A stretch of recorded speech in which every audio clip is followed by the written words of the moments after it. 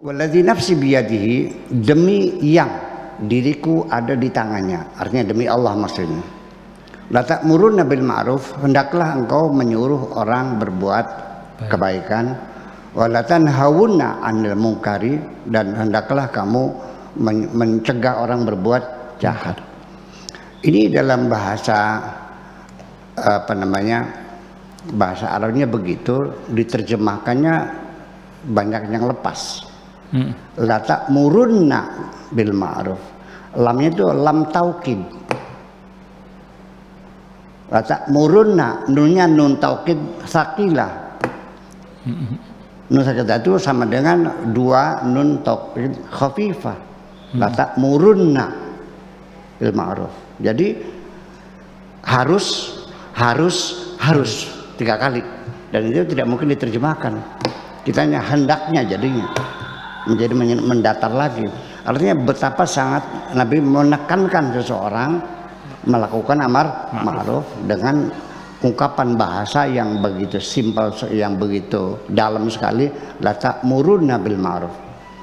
Juga wala tanhawunna anil mungkarin. Mencegahnya juga bukan main-main bukan tapi dengan kesung kesungguhan karena taukidnya ini penegasannya tiga kali berkali-kali Nah, ini dalam bahasa Indonesia tidak mampu menerjemahkan eh, penekanan-penekanan uh, bahasa dalam bahasa Arab itu. Uh, sebelum ke sana saya ingin mengurai dulu. Banyak sekali uh, kita mengalami kesulitan dan saya yakin tidak bisa diterjemahkan dalam bahasa apa pun. Ini ya. Seperti ketika iblis itu diusir dari kerajaan sorga. Hanya karena kesombongannya tidak mau menghormati Nabi Adam. Setelah dikeluarkan dia bersumpah serapah mengatakan qala fa bi'izzatika la ughwiyannahum ajma'in. Dalam bahasa Indonesia-nya iblis bersumpah aku akan menggoda manusia seluruhnya. Itu maknanya. Tapi kalau kita lihat dari ungkapan bahasa Arabnya itu kesan psikologisnya berbeda. Yuk kita uraikan. Fabi izzatika bi izzatika banyak bak kosam.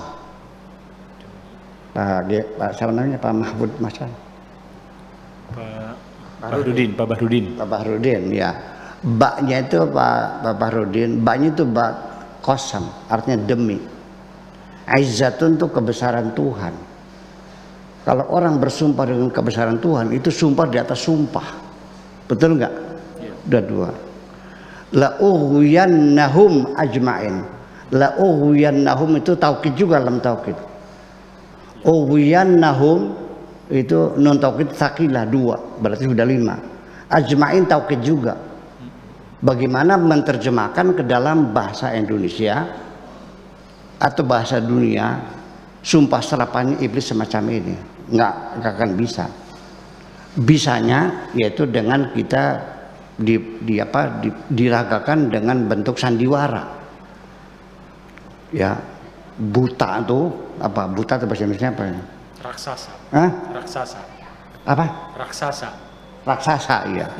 Raksasa itu dengan taringnya yang panjang sambil berlumuran darah, sambil mengepalkan tangannya, sambil mengancam, wahai manusia, akan kugoda kamu semuanya, sambil giginya kerot-kerot, sambil mukul meja dan mejanya pecah.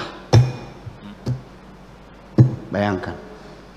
Itu di, di, di, di, di visualisasinya dengan diragakan seperti raksasa yang sangat marah sekali. Itu tidak mampu diungkapkan dengan bahasa Indonesia. Maka perintah-perintah Nabi semacam ini juga sambil lalu sehingga orang menyepelekan amar ma'ruf nahi bukan itu sendiri. Nah kan gitu semacam itu. Oke, jadi kalau saya mau diterjemahkan dalam Indonesia, iblis berkata kepada Tuhan, kan gitu. Wahai Tuanku, aku pasti, tahu kan pasti, aku pasti dua, aku pasti tiga, aku pasti empat, aku pasti lima, aku pasti enam, ugoda semua manusia. Begitu kira-kira terjemahannya. Itu persoalannya. Ini persoalan linguistik. Iya. Ya, sehingga ya itu. Jadi banyak orang yang amal ma'ruf nahi mungkar itu dianggapnya ya perintah biasa tanpa penekanan-penekanan. Padahal maknanya la ta'muruna bil ma'ruf itu sebenarnya.